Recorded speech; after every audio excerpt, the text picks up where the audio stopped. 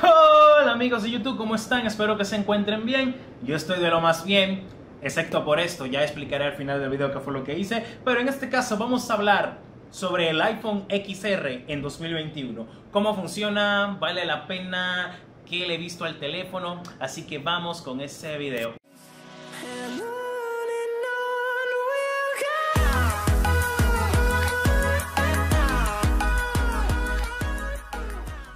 Pues bien amigos, cabe mencionar, voy a mencionar un poquito las specs por arriba, ya para que lo conozcan un poco este individuo.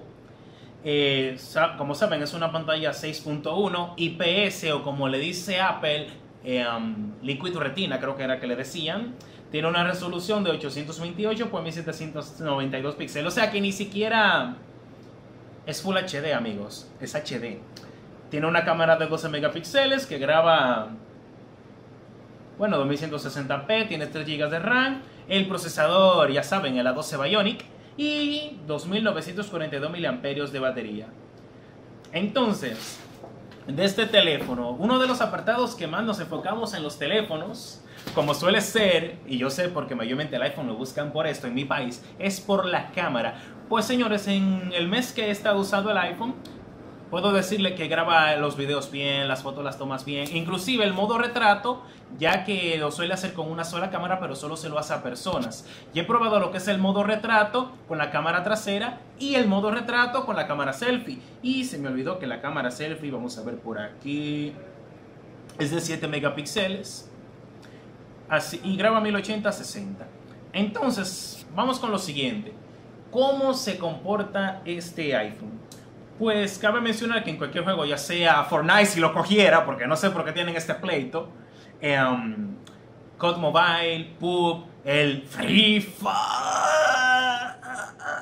ayer me da trabajo pronunciar ese nombre, el Asphalt 9, cualquiera de estos juegos funcionará bien a su máxima calidad. Cabe mencionar que el A12 Bionic es más potente, en, teóricamente hablando, que el Snapdragon 855 que le lleva un año. O sea, el 855 es un año, salió un año después, por así decirlo, comparando los procesadores.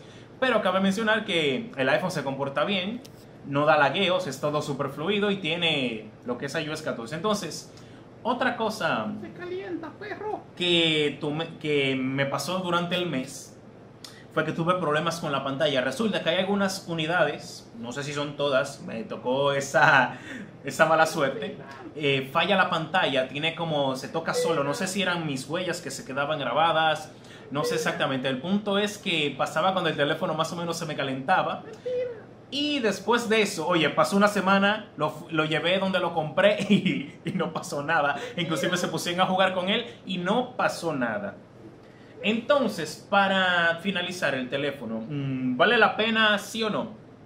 Pues les voy a decir lo siguiente. Si buscas un iPhone y no quieres gastar mucho dinero, ya que se encuentra dentro de los 300 a 400 dólares más o menos, por ahí anda, o aquí en mi país, que serían de 20 a 25 mil pesos, em, pesos dominicanos, vale mencionar, el teléfono vale la pena. Ya, ya sé que es un teléfono que tiene casi, este año cumple 3, creo si este año va a cumplir tres años. Todavía le quedan dos o tres años de actualizaciones de iOS, que es algo que siempre miro en un teléfono a la hora de comprarlo, el soporte para actualizaciones, ya que no me gusta que se quede corto, ya que como saben, Apple, después de un tiempo, le manda a exigir a los desarrolladores que tienen que hacer sus aplicaciones para las versiones superiores. Ya que en algunos casos, digamos que este teléfono se quedaría sin WhatsApp por lo menos en unos 10, mm, 8 años tal vez. Sin Facebook se quedaría a los 3 no sé, ya depende cómo lo manejaría cada desarrollador de cada app. Por eso es que no me gusta quedarme atrás con las versiones de iOS. En Android casi no suele pasar esto.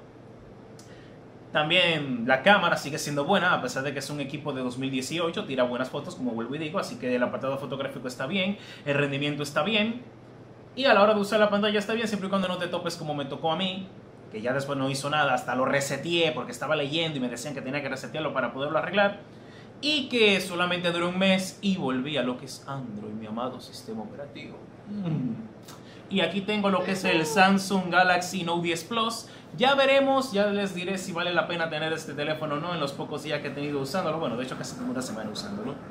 Así que como ven, y esto sería todo por este video. Si les gustó ya saben, lo comparten, le dan like También comenten qué deberemos agregar a este tipo de, de reviews, si vale la pena o no un teléfono en tal año o cómo funciona el teléfono en este año. Así podemos hacerlo un poquito más profundo. También quiero hacer una especie de retro reseña con lo que es el Microsoft Lumia 950, que con el que estamos grabando.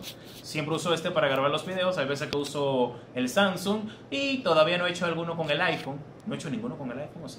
No, No he, no he grabado ninguno con el iPhone. no he grabado tu video. Grabé tu video, hay un video en el canal del Chepe que fue, era hablando sobre unos audífonos, ese lo grabamos completamente con el iPhone XR y el sonido y la imagen, oye, me gustó cómo quedó. Ya estarán viendo, bueno, ya habrá pasado eso de las imágenes, viendo cómo funciona el teléfono, viendo el error que dio, mientras íbamos hablando todo esto. Así que esto es todo por este video. Adiós.